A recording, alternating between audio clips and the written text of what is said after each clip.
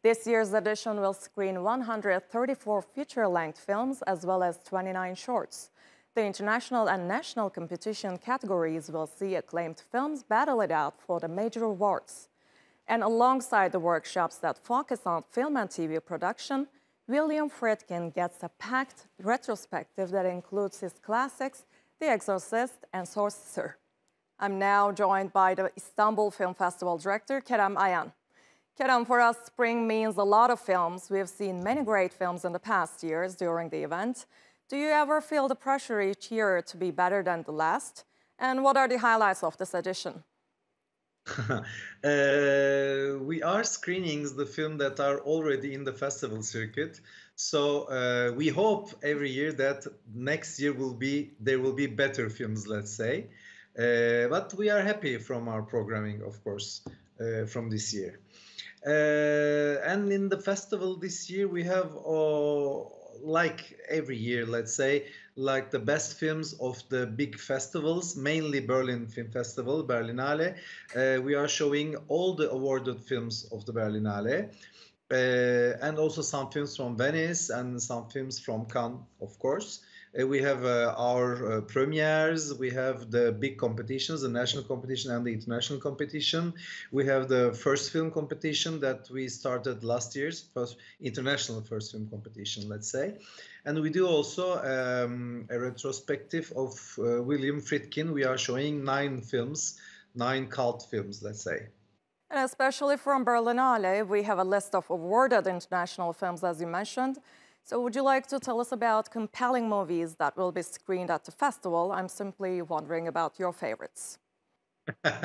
okay, so my um, so we are showing uh, Christian Petzold's last movie, Afire, from the Berlinale. Uh, it won one of the big awards there. This this is for, for me it was the best filming competition by the way. Uh, so we are showing that one. We are showing the film that won Golden Bear Award uh, on the Adamant, French uh, documentary also from the Berlinale. And uh, I can talk about the films in our competition because uh, these are our favorite movies, let's say, so we put them in competition. Mm, I can say um, Animalia.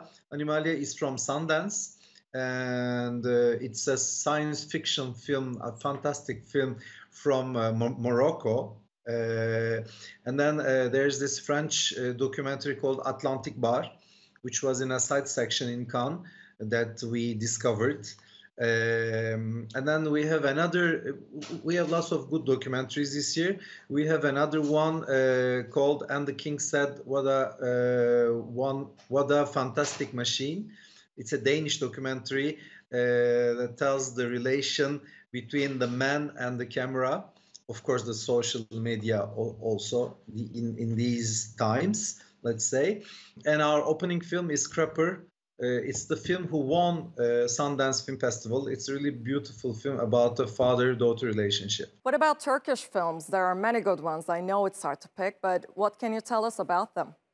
Uh, I prefer not to recommend Turkish movies because they are all in competition. So, uh, but we have 11 Turkish movies in competition, uh, in the fiction competition, and five of them are the world premiere. It will be shown for the first time here in Istanbul. So uh, I hope people will enjoy them. You mentioned the lack of female filmmakers in the previous year's editions. How is this year actually? And in the No More Flowers section, what kind of stories are women telling? Um, we have, of course, not enough film, female filmmakers again, especially I'm talking about the Turkish film competition. I think it's uh, mm, we, we are showing 11 films. I think we have two or three film, female filmmakers. I'm not sure exactly, but it's not enough, of course. Uh, I hope it will improve. But in in general, let's say in the festival program, we have much much more female filmmakers, which is wonderful. In the No More Flowers section, we have uh, films with the female protagonists, strong female protagonists, let's say. And this year we have lots of different subjects. Uh, we have a film about racism. It's a story of a little girl, uh, Nene Superstar. It's a story of a black little girl who tries to go to, to the ballet school in, in Paris. Or uh, Alice Darling, who talks about uh, toxic relationship. And, and we have also Blanquita, who talk about sexual abuse. So we have lots of different subjects on these matters. Alongside new films, there are classics such as William Friedkin's movies, as you mentioned earlier. Can you tell us a bit more about this and whether he is joining the event or not?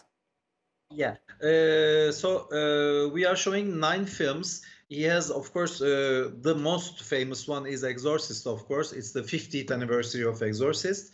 We are showing that one, but he has lots of cult movies like um, French Connection or Cruising and we will show also Sorcerer, which is not uh, easy to see, let's say. Uh, we invited him, but he's not able to come.